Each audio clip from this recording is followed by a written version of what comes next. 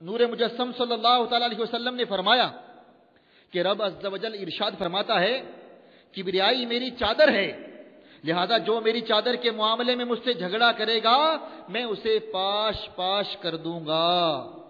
मीठे मीठे इस्लामी भाइयों, रब ताला का किबरियाई को अपनी चादर फरमाना हमें समझाने के लिए है।